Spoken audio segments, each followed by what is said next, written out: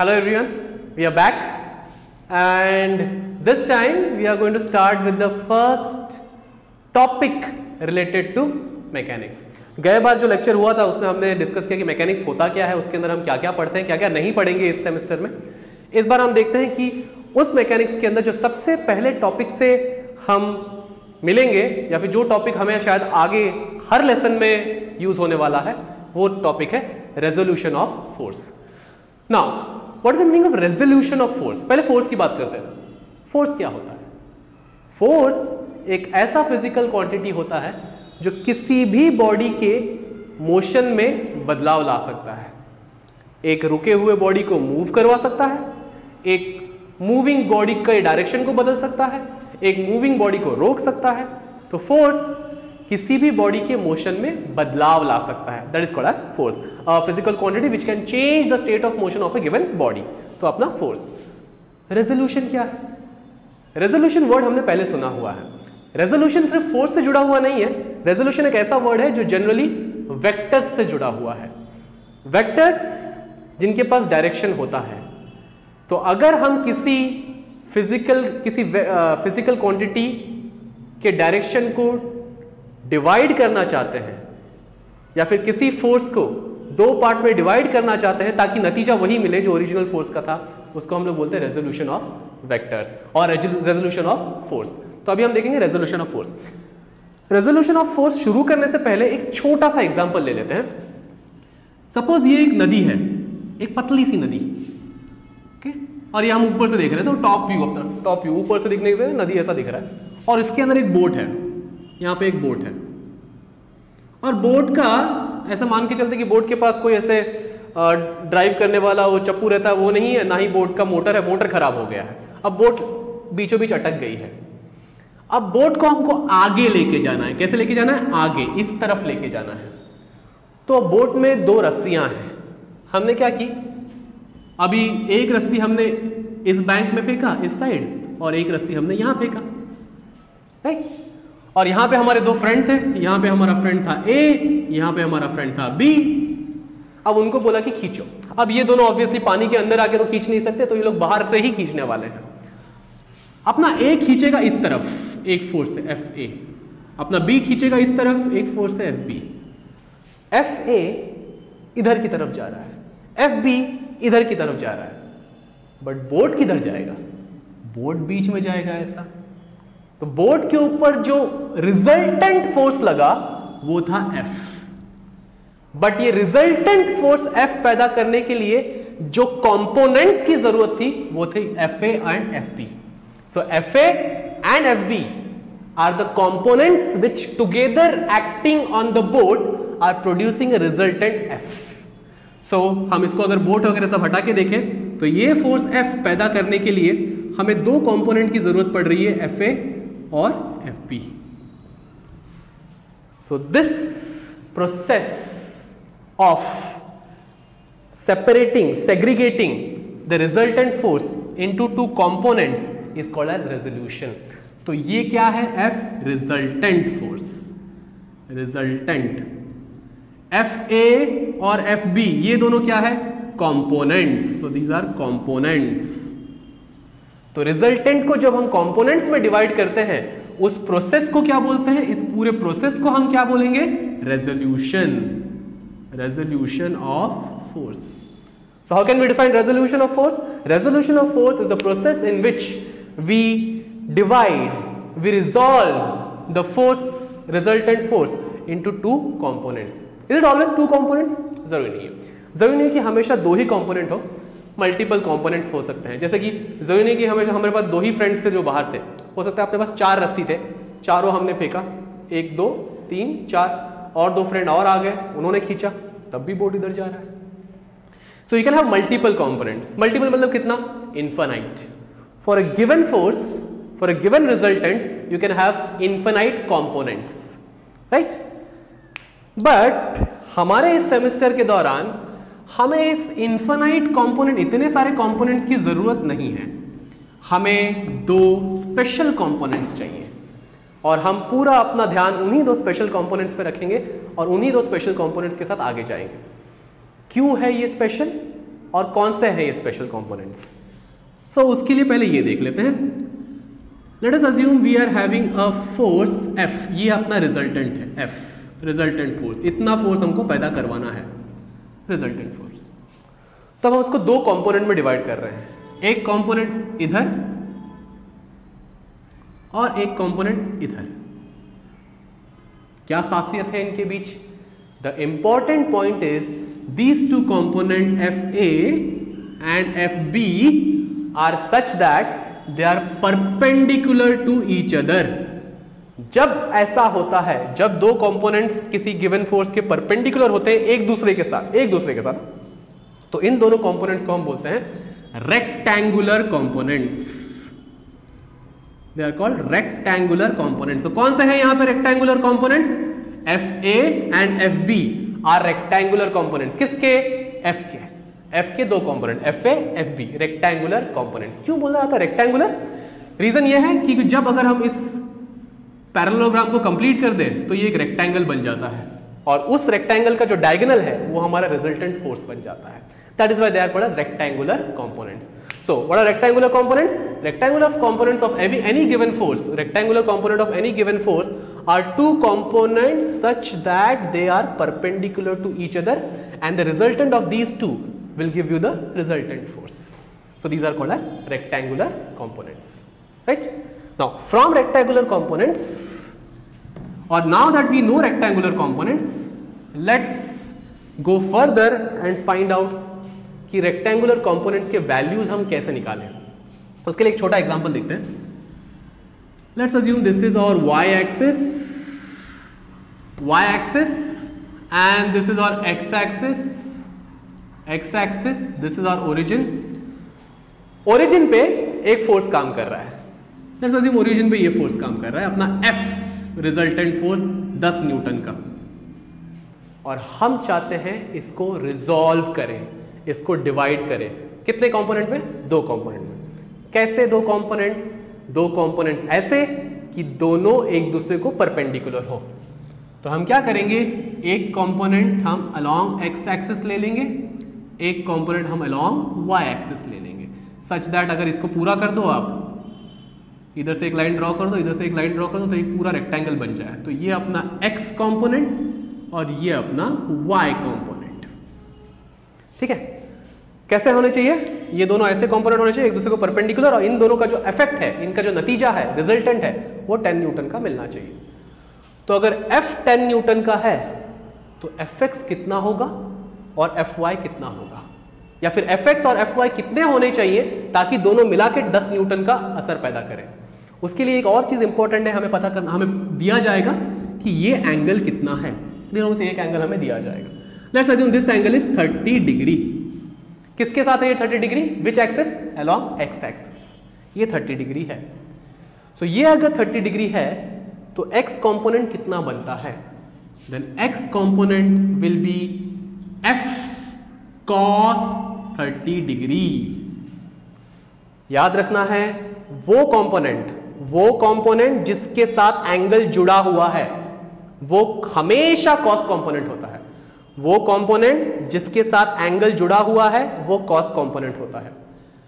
और वो कंपोनेंट जिसके साथ एंगल नहीं जुड़ा हुआ है, वो कंपोनेंट जिसके साथ एंगल नहीं जुड़ा हुआ है, वो साइन कंपोनेंट होता है। एफ़ साइन थर्टी एफ़ का वैल्यू कितना है अपना रिजल्टेंट का? टेन तो टेन कॉस थर्टी इसको आप कैलकुलेट कर लोगे, जो इसका वैल्यू मिल जाएगा।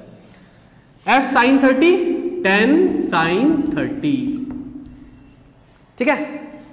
Fx the component along x axis. Fy the component along y axis.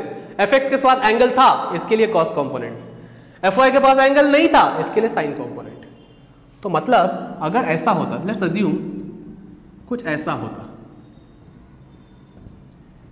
F इधर रहता F is equal to ten newton और ये एंगल दिया होता हमें सपोज़ 70 डिग्री तो ये ये बन जाता हमारा y कंपोनेंट एफ़ वाई और ये बन जाता हमारा x कंपोनेंट एफ़ एक्स ठीक है? तो अभी x कंपोनेंट कॉस कंपोनेंट है कि साइन कंपोनेंट है? कैसे पता चलेगा? एंगल देखो। कौन सा एंगल दिया है हमें यहाँ पे? 70 डिग्री 70 डिग्री x के साथ जुड़ा है कि y के साथ जुड़ा है? y के साथ। तो अगर वो y के साथ जुड़ा है तो y बन जाएगा हमारा cos कंपोनेंट और क्योंकि x के पास ये एंगल नहीं है, इसके लिए x बन जाएगा हमारा sine component 10 sine 70 degree understood ये चीज़ बिठा लेनी है. हमेशा, जिस कंपोनेंट के पास एंगल होता है, वो कॉस कंपोनेंट बनता है. जिस कंपोनेंट के पास एंगल नहीं होता, वो साइन कंपोनेंट बनता है। एंगल है कॉस कंपोनेंट एंगल है कॉस कंपोनेंट एंगल नहीं है साइन कंपोनेंट एंगल नहीं है sine component then take some time reflect on this okay. So, now that we know what is resolution of forces let's take some example related to resolution of forces. Now, by the way, ये resolution of forces वाला जो part है, शायद अलग सा question ना आए कि resolve this forces resolve that forces but जितने भी एग्जाम्पल्स हम देखेंगे, कोई भी लेसन के अंदर, उसके अंदर रेजोल्यूशन ऑफ़ फोर्सेस का पार्ट आएगा ही आएगा। सो मेक श्योर कि ये पार्ट हमारे दिमाग में अच्छी तरह क्लियर है तो ही हम आगे बढ़ सकते हैं। अदरवाइज़ हर एक प्रॉब्लम में हम अटकेंगे। Okay so let's take let's start with very simple one first one suppose this problem is like this अपने पास एक फोर्स है. This force is of 50 newton 50 newton का फोर्स है. And it is making an angle of 40 degree with the horizontal 50 newton का force acting at an angle of 40 degree with the horizontal अब हमको इसको रिजोल्व करना है. Question ऐसा आता है. Resolve this forces into two components one horizontal component second vertical component horizontal and vertical component या फिर x component and y component so let's resolve this force क्या करेंगे सबसे पहले हम इस फोर्सेस के दो कंपोनेंट ड्रॉ कर लेते हैं दो कंपोनेंट ऐसे और ऐसे याद रखना बहुत अच्छी तरह याद रखना कंपोनेंट्स के एरो कंपोनेंट्स के एरो ऐसे होने चाहिए कि इन दोनों एरो के बीच में ही रिजल्टेंट आए। रिजल्टेंट का एरो हो। सो so, कंपोनेंट के एरो के बीच में ही रिजल्टेंट का एरो होना चाहिए। तो ही वो components कहलाएँगे। So two components along x axis horizontal component along y axis vertical component ठीक है? अब इसके वैल्यू फाइंड आउट करते हैं। रिजल्टेंट कितना है? 50 रिजल्टेंट 50 है। तो एक्स एक्सिस पे इसका कितना असर होगा? पहले ये चेक कर ले कि एंगल किसके पास है? एंगल एक्स कंपोनेंट के पास है कि वाई कंपोनेंट के पास है? एंगल 40 डिग्री एक्स के पास है। तो एक्स क्या बन जाएगा? एफ़ कॉस 40 एंगल इसके पास नहीं है तो वाई क्या बन जाएगा? एफ़ साइन 40 एफ़ का वैल्यू अपना कितना? एफ़ मतलब हमेशा रिजल्टेंट एफ़ का वैल्यू कितना हमारा? 50 सो 50 cos 40 डिग्री ये अपना horizontal component fifty sine forty degree ये हमारा vertical component we can use the calculator and find the value the values comes to रफली around I think 38.3 newton 38.3 newton and this comes to रफली around 32.14 newton शायद मुझसे mistake हो गया होगा, आप एक बार बस कैलकुलेशन चेक कर लेना। बट ये नंबर इंपॉर्टेंट नहीं, ये तो कैलकुलेट कैलकुलेटर अपना पार्ट कर लेगा। हमारे लिए क्या समझना इंपॉर्टेंट है कि रिजोल्व कैसे किया गया? कैसे किया गया? रिजल्टेंट जो था, उसको दो परपेंडिकुलर आपस में परपेंडिकुलर कंपोनेंट्स हमने बनाए। Along x axis horizontal component along y axis vertical component फिर क्या देखना है? एंगल किसके पास है? किसके पास है एंगल एफ़ एक्स के पास। तो ये कॉस कंपोनेंट बन जाएगा, ये साइन कंपोनेंट बन जाएगा। Fine if this is clear, let's move to the a bit more difficult one. Now, suppose we have something like this. Difficulty level थोड़ा थोड़ा हम बढ़ाते चलेंगे। पहले हमने एक्स एक्सिस के साथ देखा था, अब हम वाई एक्सिस के साथ देखेंगे। तो ये वैल्यू हमें दिया गया है। दिस इज़ 650 न्यूटन तो हमारा रिजल्टेंट का वैल्यू है 650 न्यूटन हमारा 650 न्यूटन का एक फोर्स है। कैसे काम कर रहा है 650 न्यूटन 650 न्यूटन स्ट्रेट काम कर रहा है कि एंगल पे है? एंगल पे है। कितने एंगल पे है? 20 डिग्री एंगल पे है। So 650 Newton is making an angle of 20 degree along x axis or along y axis. Yes, it's along y axis. So let's resolve it into two components, horizontal component and vertical component. Again हमें याद रखना है components के arrow ऐसे होने चाहिए कि resultant का arrow उनके बीच में आए इन दोनों के बीच में आए Got it? So downward and left ये दोनों आगे component. ये vertical component इसको fy कर देते हैं हॉरिजॉन्टल कॉम्पोनेंट एफ़ एक्स कर देते हैं। एंगल किसके पास है? एफ़ एक्स के पास कि एफ़ वाई के पास? द एंगल 20 डिग्री 20 डिग्री किसके पास है? वाई के पास। तो ये कौन सा कॉम्पोनेंट बनेगा? कॉस या sine? Cos component. So F y becomes F cos 20 degree. And F x becomes F sine sorry F sine 20 degree. f का वैल्यू कितना अपना 650 into cos 20 and this becomes 650 into sine 20. The calculation comes to this is 610.8 Newton and this is 222.3 Newton. Now, ये अगर समझा है, एक चीज़ और हमें ध्यान में रखना है। अगर सिर्फ़ क्वेश्चन ये है कि resolve the given force into two components along the horizontal axis and along the vertical axis तो फाइनल आंसर हम ऐसे लिखेंगे। देखो फाइनल आंसर कैसे लिखा जाएगा? F x horizontal component is equal to कितना है? 222.3 न्यूटन अब, ये हॉरिजॉन्टल कंपोनेंट है ना? हॉरिजॉन्टल कंपोनेंट इधर राइट की तरफ़ काम करेगा या लेफ़्ट की तरफ़ काम करेगा। तो अपना कंपोनेंट किसकी तरफ़ काम कर रहा है? लेफ़्ट की तरफ़। तो यहाँ पे हम एक एरो दिखा देंगे लेफ़्ट की तरफ़ काम करने वाला। Very important it shows in which direction the component is acting कभी कभी इधर माइनस लिखते हैं। याद है कार्टेशियन साइन लेफ़्ट की तरफ़ होगा तो माइनस राइट की तरफ़ होगा तो पॉजिटिव फ़िलहाल के लिए हम उस चीज़ के ऊपर नहीं जाएँगे क्योंकि वो ज़्यादा कंफ्यूजन क्रिएट करेगा। हम बस ऐसे दिखा देंगे 222.3 न्यूटन का कंपोनेंट जो है वो हॉरिजॉन्टल एक्सिस में काम कर रहा है लेफ़्ट की तरफ़। अगर ये ऐसा लिखेंगे तो y कैसे लिखेंगे? 610.8 newton acting towards the downward y axis नीचे की तरफ़ काम कर रहा है डाउनवर्ड वाई एक्सिस ऑब्वियसली अगर आप मैथमेटिकल कार्टेशियन साइन के साथ लिखोगे तो ये भी नेगेटिव होगा, ये भी नेगेटिव होगा। बट यहाँ पे हम नेगेटिव साइन का इस्तेमाल नहीं करेंगे, हम एरो से दिखाएँगे कि कौन से डायरेक्शन की तरफ़ काम कर रहा है। Left on the horizontal axis downward on the vertical axis I hope this is clear then we can move to one more question just have a look at it get a feel of it understand it, and if there are any doubt, write it down and try to find out, can we find some answer over here. Now, the next one. Next one is like this. We are having an inclined surface. Force नहीं है inclined surface. ये अपना surface है. Inclined surface. कितने angle पे है 45 degree angle पे ये इंक्लाइंड है और इसके ऊपर एक फोर्स काम कर रहा है यहाँ पे कितने न्यूटन का ये फोर्स काम कर रहा है ये एक एंग ये एक सरफेस है और ये एक फोर्स काम कर रहा है कितने न्यूटन का 800 न्यूटन सो so ये हो गया हमारा फोर्स जिसको हमको रिजोल्व करना है 800 न्यूटन ये काम कर रहा है इसके साथ 10 डिग्री पे. तो इंक्लाइंड ऑलरेडी 45 डिग्री पे है, ये इसके साथ 10 डिग्री पे काम कर रहा है. Now we want to resolve this along x axis and along y axis ठीक है? ध्यान से सुनना क्या हो रहा है.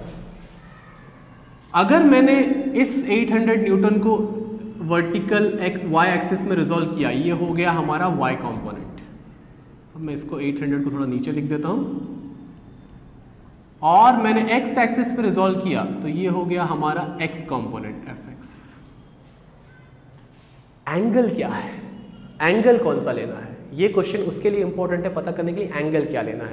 ध्यान में रखना the angle should always be measured with one of the axes x axis के साथ होना चाहिए या वाई एक्सिस के साथ होना चाहिए? दोनों में से एक के साथ होना चाहिए। यहाँ पे जो 10 डिग्री है ये ना एक्स एक्सिस के साथ है, ना वाई एक्सिस के साथ है। ये किसके साथ है? ये इस इंक्लाइंड प्लेन के साथ है। तो हम ये 10 डिग्री नहीं ले सकते। ना ही हम 45 डिग्री ले सकते हैं, क्योंकि 45 डिग्री फोर्स से जुड़ा हुआ नहीं है 45 डिग्री इंक्लाइन प्लेन से जुड़ा हुआ है। तो पहले हमको ये निकालना पड़ेगा कि ये जो 800 न्यूटन है, ये x या फिर y एक्सिस के साथ कितना एंगल बनाता है। तो उसके लिए आई थिंक हमारे लिए ये एंगल इजी होगा फाइंड आउट करने के लिए। ये एंगल हमारा फोर्स एक्स एक्सिस के साथ बना रहा है। अब ये एंगल फाइंड आउट कैसे करेंगे? इजी ये टोटल है 45 डिग्री तो ये भी टोटल होगा 45 degree alternate angle parallel transversal 45 45 उस टोटल 45 में से 10 डिग्री निकाल दिया तो बचेगा कितना? 35 degree now, is 35 degree an angle made with the x axis or y axis yes. So now we can consider 35 degree as the angle. तो इसको अगर मैं साइड में बनाने जाऊँ तो इसको ऐसे बना सकता हूँ, ये हो गया x एक्सिस ये हो गया y एक्सिस बार बार बार बार बनाने की ज़रूरत नहीं है, क्योंकि हम ये पहली बार देख रहे हैं, इसके लिए हम अलग से बना रहे हैं। और ये हो गया हमारा रिजल्टेंट 800 न्यूटन का। कितने एंगल पे काम कर रहा है? x एक्सिस के साथ, x एक्सिस के साथ 35 डिग्री अब इसको रिजोल्व कर सकते हैं। Y vertical component and horizontal component so F y F x थोड़ा ऊपर लिख देते हैं। एफ़ एक्स एंगल किसके पास है? Y के पास कि x के पास? X के पास. सो so, x कौन सा कंपोनेंट बनेगा? Cos component so 800 cos 800 cos 35 degree और ये क्या बनेगा? इसके पास एंगल नहीं है. Y कंपोनेंट के पास एंगल नहीं है. So so, 800 sin 35 degree you can calculate the values and you can get the answer so after calculation we will get fy as something as 458.9 newton 458.9 newton and fx comes to roughly around 655.3 newton आप एक बार खुद से calculate कर लेना और एक बार check कर लेना मैं बहुत सारे मिस्टेक्स करते रहता हूँ कैलकुलेशन के रिप्रेजेंट कैसे करना है? पहले एफ़ एक्स कितना है? 655 लेफ़्ट की तरफ़ है। नेगेटिव लिखना है क्या? नहीं। एरो से मार्क कर दो लेफ़्ट की तरफ़। एफ़ वाई कितना है? 458.9 न्यूटन नीचे की तरफ़ नेगेटिव बताना है क्या? नहीं। अगेन एरो से दिखा दो नीचे की तरफ़। So these are our final answer understood? How to resolve? So how to resolve? Any given force resolve into two components. दो कंपोनेंट ऐसे होने चाहिए कि उन दोनों के एरो के बीच में ही अपना रिजल्टेंट आए। उन दोनों के एरो के बीच में ही अपना रिजल्टेंट का एरो आए।